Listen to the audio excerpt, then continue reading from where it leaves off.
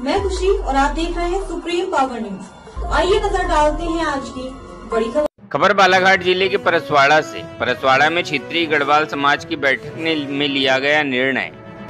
अध्यक्ष के लिए महेंद्र नागेश्वर के नाम पर बनी सहमति। अखिल भारतीय क्षेत्रीय गढ़वाल समाज बैयर परसवाड़ा क्षेत्र की बैठक परसवाड़ा गढ़वाल भवन में अखिल भारतीय गढ़वाल समाज के पूर्व महासभा अध्यक्ष सूरज ब्रह्मे के मुख्य आतिथ्य में तथा क्षेत्रीय गढ़वाल समाज के अध्यक्ष रामगोपाल अजीत की अध्यक्षता में आयोजित की गई, जिसमें सभी बारह मंडल के अध्यक्ष उपस्थित हुए। सभी ने बारी बारी से अपने विचार रखे। कुछ मंडलों से महासभा अध्यक्ष के लिए नाम आए, जिस पर विचार कर सर्वसम्मति से महेंद्र नागेश्वर का नाम प्रस्तावित किया गया।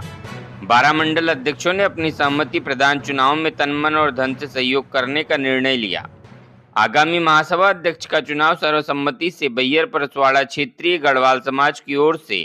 महेंद्र नागेश्वर चुनाव लड़ेंगे। देखिए पूरी खबर, परसवाड़ा से अशोक राउत की रिपोर्ट। एक समिति का गठन किया गया था, जिसमें नौ लोग समिति में थे, और उसमें ये निर्णय लिया गया था कि जो समिति के सदस्य जिसका चयन करेंगे, वो महासभा का चुनाव लड़ेगा।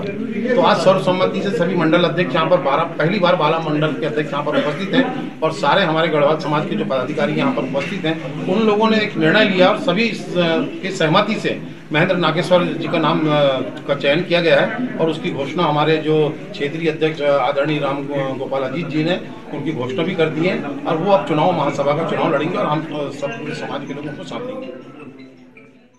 आज जो बैठक क्षेत्र चुनाव को लेकर के। महासभा, अखिल भारतीय महासभा के चुनाव को जिसमें पूरे क्षेत्र से बारह मंडल के लोग मंडल अध्यक्ष व सभी सोसाइटी उपस्थित हुए और सभी की राय से एक मत होकर हमारे प्रत्याशी के रूप में महेंद्र नागेश्वर जी का नाम सामने आया और उन्हें प्रत्याशी किया गया है। और अभी तक के जो है परसवाड़ा बेरियर जो क्षेत्र है महासभा की दृष्टि से उपेक्षित रहा है। तो इस बार हम चाहते हैं कि महासभा अध्यक्ष जो है वो हमारे क्षेत्र से बने और जब हमारे क्षेत्र का बन जाएगा तो हम गढ़वाल समाज के उत्थान के लिए काफ़ी कुछ इस क्षेत्र में कर सकते हैं। धन्यवाद।